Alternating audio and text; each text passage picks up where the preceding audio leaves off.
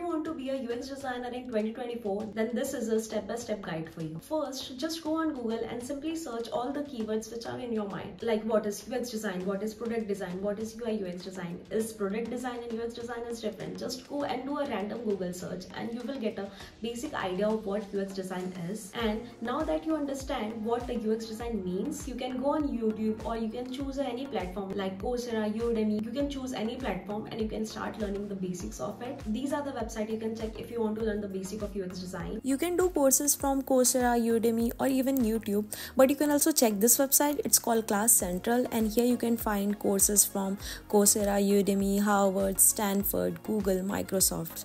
So what you have to do is just go on the search bar and write UX design and then you can see all the courses and you can also select filters with certificate, without certificate or university courses. You can also select here level, what duration you want, your subjects and in language you can select all this filter. You can also further sort it by by highest rated or relevant course. Then now you can see that there are so many courses which are the same courses that you can find on Coursera but these are free. Like recently the Coursera started charging fees and like so many people applied for the financial aid but it's just giving them 90 to 70% of the fee waiver. So if you're looking for free courses so you can check this out. Now you know the basic of UX design so you can start making your project. The only way to test your skills is your portfolios. I will suggest you to make minimum two projects like two detailed projects. If you want to make more, you can obviously make more case studies. I know you must be wondering that what kind of project should we make or, or how my portfolio should look. So here are some of the example of detailed UX case study and people who have amazing portfolio. Let's go through it when it comes to portfolio you have to understand that but what matters more is how detailed your ux case studies. So look at this person's case study. So he have included here project overview where he have written challenges objective his role and all those things. And then design process research so in that research he have also written secondary research and also a primary research. He have also mentioned user persona and empathy mapping. And also you can see that he have also included wireframes and now you can see the original design. And there is also a prototype at the end. So this is what recruiters want to see. They want to see your ux process. They want to see if you will given a problem what you will do and how you will approach it and what is your ux process. Now let's see the next portfolio. Here also you can see that its ui looks so amazing. It looks so minimal and interactive let's see one of their case study so let's see the linkedin one. Um, so here you can see that in starting he have written that you can see here that he has written what is the problem and and what is the solution for it. And now coming to the next thing he have done research. He did comparative analysis. And the next part he wrote about research. He has also included user personas. And next he have included ui design. Uh, if you are making your portfolio make sure you have a solid ux case study and it's detailed and it says your ux process. And you have to understand that there is no a single ux process. And for portfolio you can take inspiration for other people but don't try to copy their ux process because the ux process change from problem to problem. So in some problem you will just do survey. In some problem you will just collect data. But in some problem you have to do user interview. You have to do usability testing. So don't try to copy someone's ux process because it will differ from problem to problem. But you can take inspiration from others now you know that how you can make your UX project and UX portfolio. Now it's time to pick a problem. So for problem, you can pick any day to life problem which you are facing and you think that if there will be an app for this, it will be amazing. So if you have anything in your mind like that, you can take that problem and you can solve it and you can make a case study of it. Or if you have nothing in your mind, then you can also search for the problem. So let me show you how you can search for the problem. Here is the medium blog where you can find 100 problems. So you can go through this and whichever you find like little interesting, you can start making the case studies. So here you can see there are so many interesting problems. You can choose anything you want now coming to the next thing it's fake client ux so here you just have to like generate. So here you can just click on generate brief and it will generate a brief. But if you want a different one you can just keep clicking on it generate generate generate and it will give you like several design brief. You can take any of this and you can start making your ux case study or else if you want problem related to ui design you, you can just select here ui design and you can just click on generate brief now coming to the third thing, as you know the chat GPT is here and everyone is being crazy about it. So let's try to use chat GPT for finding a UX problem.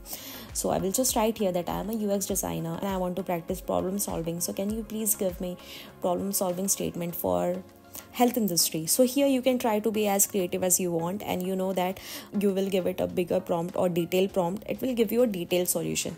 So that's why i'm specifying your health industry. You can try to change it according to your interest. You can write fashion industry or e-commerce industry or anything. So it has given us problem statement the background problem key consideration that what are the key components we have to keep in mind and what are the deliveries. So you can also try with the chat gpt now what you have to do you have to start making your ux case study. For making project you can either publish it on my portfolio is still on medium because i haven't updated it for a while and i think i should update it. But you know this is a designer's problem like we don't update our portfolio. Like i think that if you have time then you should definitely go for the website. But if you don't have time and you don't want to invest so much time in that then i think you can go for a notion and medium. I think they have become more advanced too so you can go for any of those things. When i started out i made my first project on behance but it takes so much time. And you have to upload there as an image. So if you want to do any change in the case study you have to do so many changes. First you have to make the changes in the figma file then you have to export and then you have to upload. So it takes so much time. So that's why when i made my second portfolio i made it on medium because it's easy to edit and it's easy to share. So now that you're working on portfolio and you are daily learning ux you have enrolled yourself in ux challenges. Now i want you to go on linkedin and start networking with people. Before you start networking make sure you have updated LinkedIn profile. Make sure you have a professional profile picture, you have a good headline that you are aspiring UX designer or a UX designer, you have all your skills filled in and everything filled in. Make sure you have updated LinkedIn profile and start reaching out to people who are either HR or who are either UX designer or who are senior UX designer, who are design directors. You can connect with them on LinkedIn. You can start building the connection with the people who are in design industry or the people who are hiring manager. Suppose if you see an opening in IBM, so you can just go to the people who you have already talked. So that person already knows you because you already spoke with him. So there are high chances they will refer you. If nothing works you can just get his two cents. Now coming to the secret thing. As you don't have any prior experience and you are just starting out in ux i want you to stand out of the crowd. I want you to do the ux challenges. I want you to do things which not everyone is doing around you. So for that there are several websites where you can go and you can find ux challenge you can enroll there and you can practice ux daily.